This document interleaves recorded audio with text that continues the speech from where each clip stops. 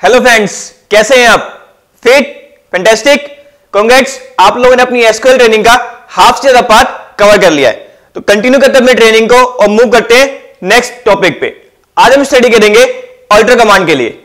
कौन सी command alter command alter command आपके लिए काफ़ी यूजफुल रहेगी, काफ़ी यूजफुल क्यों?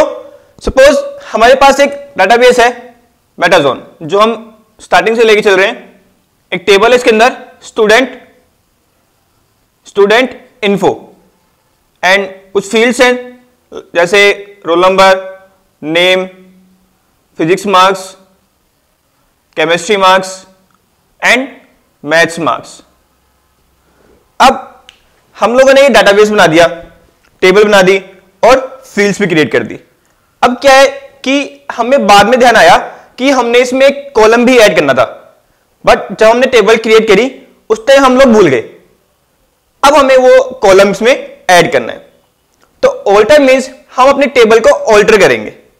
कुछ इसमें नया चीज़ ऐड करेंगे। अब अगर कोई एक्स्ट्रा इसमें कॉलम है जो है वो एक्स्ट्रा है।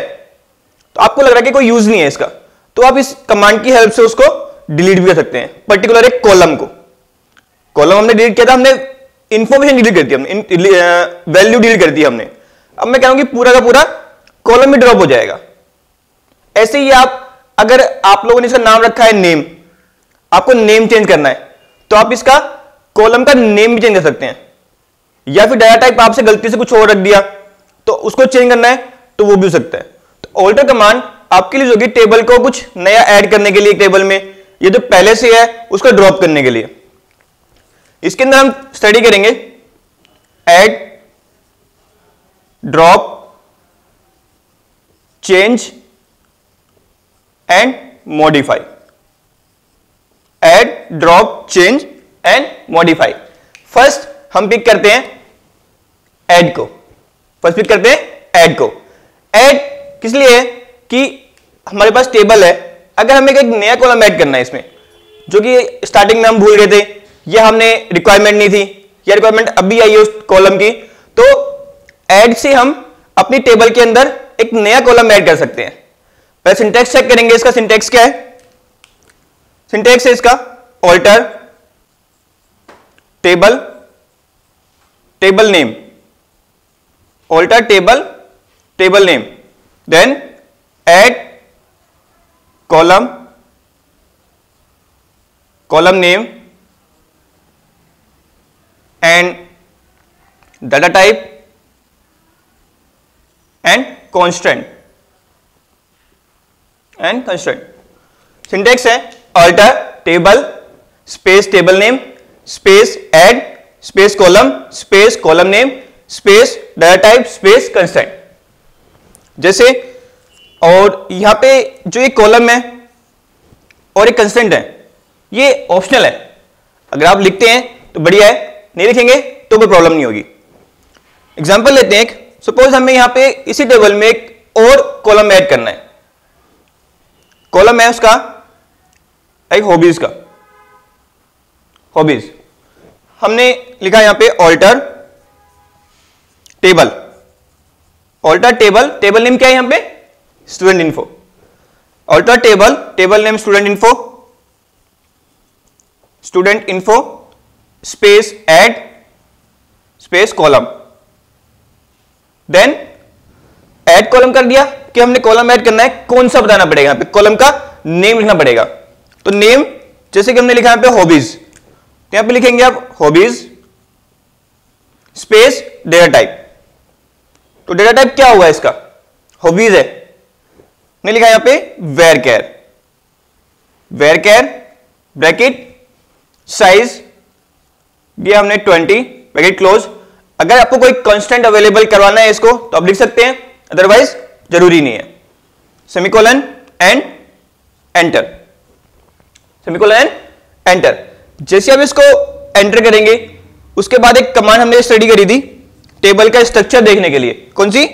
D E S C space table name describe student info semicolon and enter तो आपको जो स्ट्रक्चर दिखेगा इसका, पहले था, ये फाइव कॉलम अवेलेबल थे।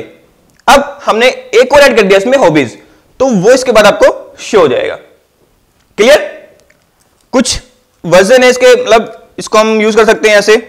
Alter table table name student info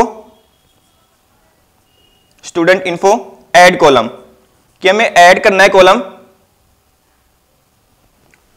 like Hindi marks Hindi marks data type लिखा हमने इंट तो यहाँ पे आप लिख सकते हैं, अब जैसे ये किया था हमने तो जो ये कॉलम ऐड होगा, ये लास्ट में जाके ऐड होगा. कहाँ पे होगा? लास्ट में जाके ऐड होगा. जहाँ पे मैथ मार्क्स है, उसके लास्ट में ऐड होगा. अगर आपको चाहिए कि वो कॉलम जो हमें ऐड कराना है, वो नेम के बाद आ जाए. नेम के बाद आ जाए, या फिजिक्स मार्क्स के बाद आए, या फिर केमिस्ट्री मार्क्स के बाद आए. तो आप यहाँ पे मेंशन कर सकते हैं मैं लिखा यहाँ पे alter table student info add column Hindi marks कि हमने ये ऐड करना है डेटा टाइप्स का ये है बट हमें चाहिए वो कहाँ पे? नेम के बाद.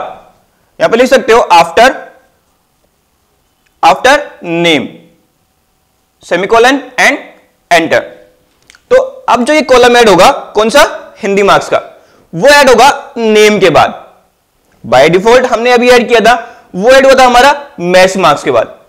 क्योंकि वो लास्ट में लेता है. अब हम चाहिए कि नेम के बाद आए। हमने पर्टिकुलर मैसेज मेंशन किया उसको कि हमें आफ्टर नेम चाहिए। आफ्टर नेम चाहिए हमें। तो जैसे आप एंटर करेंगे, दोबारा टाइप करें इसको डिस्क्राइब टेबल नेम तो आपको जो कॉलम दिखेगा वो नेम के बाद शो होगा। क्लियर ऐसे ही अगर आपको यहाँ पे लाना है लास्ट में लाना है सॉरी स्टार्टिंग में ले जाना है फ़र्स्ट में तो आप लिख सकते हैं यहाँ पे alter table student info table name है। टेबल नेम कंपलसरी है। Then add column add column हमें लिखनी है उसकी आईडी स्टूडेंट आईडी एक कॉलम बनाना है हमें। स्टूडेंट आईडी में कॉलम बनाना है और हमें वो रोल नंबर के स्टार्टिंग में चाहिए। तो आप लिख सकते हो इसका डाटा लिखना पड़ेगा यहाँ पे int and space first space first semicolon and enter ये कहाँ पे बोला हमने उसको कि रोल नंबर से पहले तो नहीं बोला बट हमने बोला कि फ़र्स्ट तो रोल नंबर हमारा फ़र्स्ट कॉलम है तो इससे पहले जाएगा ये। कौन सा? स्टूडेंट आईडी अगर आप बाय डिफ़ॉल्ट ऐसे लिखेंगे alter table student info add column hobbies data type Wacker तो एक कॉलम ऐड होगा हमारे टेबल में, जो कि लास्ट में जाएगा।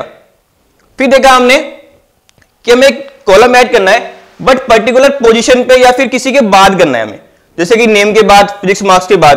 तो हमने यहाँ पे लिख दिया alter table student info add column Hindi marks data type int after name कि हमें नेम के बाद कॉलम चाहिए। फिर देखा हमने कि अगर मैं स्टार्टिंग में चाहिए तो alter table student info add column student ID int data type and first की फ़र्स्ट नंबर पे आ जाएगा ये। क्लियर तो ये थी ऑल्टर कमांड अभी हमने इसका फ़र्स्ट पार्ट देखा कि अगर हमें कोई नया कॉलम ऐड करना है तो वो कैसे होगा? अब मूव करते हैं प्रैक्टिकल पे, वहाँ पे इस क्वेरी को एग्जीक्यूट करते हैं।